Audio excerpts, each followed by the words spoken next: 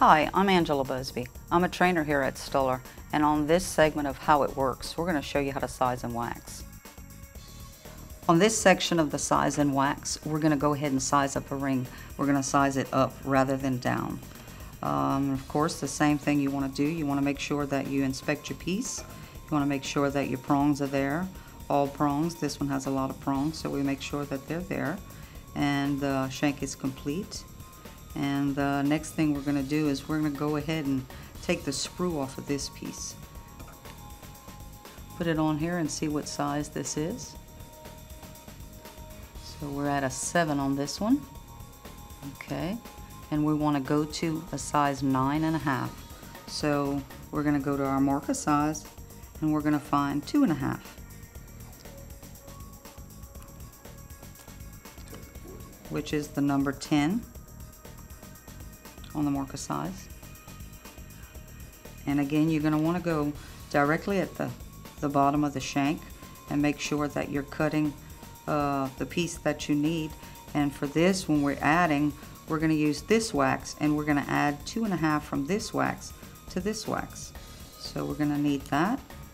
And we're going to measure and make sure what our measurements are. We're at a 2.19 on this one and the thickness of it is a 1.69. So when you're adding a wax blank to it, we call it a wax blank. You can make these um, using a plain wedding band. Just make a mold of it and get yourself some injections. And uh, make sure you're using a little bit bigger than the wax you need. That way you can remove a little bit, but you, it's a little harder to add it on.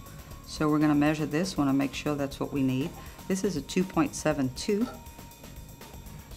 by a 1.99. So this will work out perfect for us. So we're going to cut this one in half because we will be adding. And what I like to do is I like to make sure that both sides of it are completely flush. That way when I add the, the wax plug or the blank, it's going to match up really nice. So the next one is we're going to go ahead and take our marker size and we're going to cut out the section that we need to add to the wax. So now I know that I'm going to cut this part and then I'm going to cut this part. The reason I flip that wax over is because this this clippers they're going to give you a tapered a little tapered effect on there which is not what you want. So I want a flat on a flat. Okay, so now I'm going to put this on my ring mandrel and I'm going to a nine and a half. And it is a lot to add. When we're sizing down we basically just use one of these two waxes. But because we're going so big we really want to add the wax to it. So that's what we're going to do. So you want to make sure that your wax is there. And we're going to line it up with the, the grooved mandrel. It's actually a step mandrel. And then we're going to take our our blue wax, our injection wax, and we're going to just fill in the edges.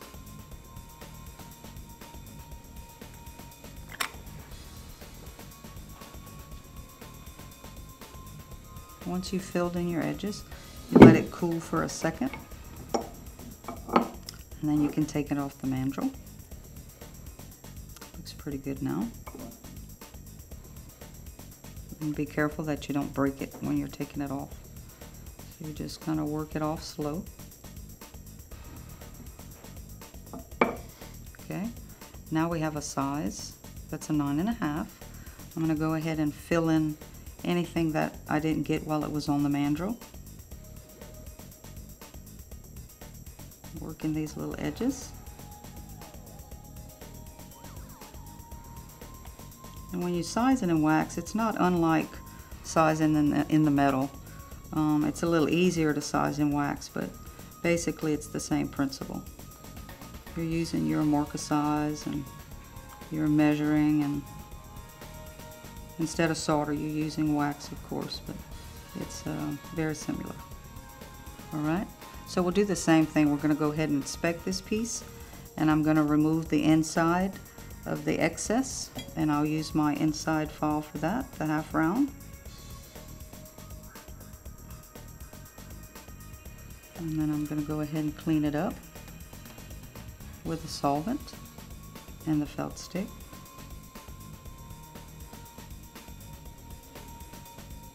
And we're working it back and forth.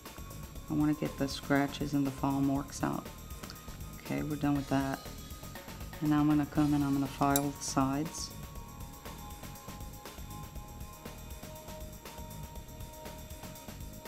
Now, a lot of people have trouble filing on a wax because it, it has a tendency to want to dig into the sides of the wax. So another way you can do that is if you're comfortable with a with the, um, the X-Acto blade, then you just kind of remove the wax with that. You just be careful that you're not cutting too much off, but it does work a lot quicker.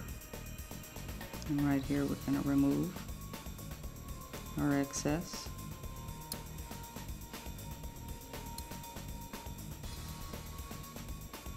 Keep your fingers out of the way. And then we're going to come ahead and finish the rest with this.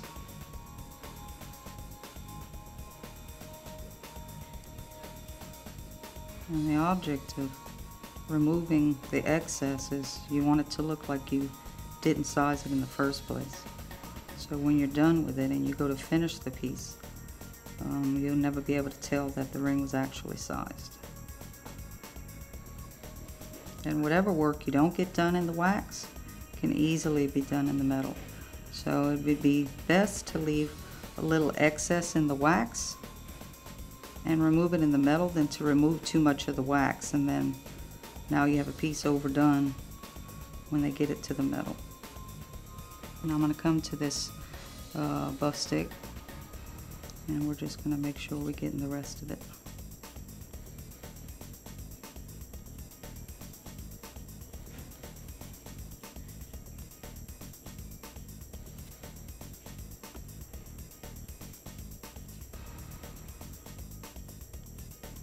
And I try to keep a finger behind the wax to have something for the wax to lay on. Otherwise, it's just going to start bending and flexing. And then you're going to end up with a cracked wax. And you'll have to start all over. This is about all I would do to it in the wax. We're going to leave just a little bit excess, and that way they can get to it. And then once we add our sprue back on, you'll never even know that you had that, that little excess. Now we're going to come back with a Q-tip and make sure that all of the texture has been removed. Tip and solvent.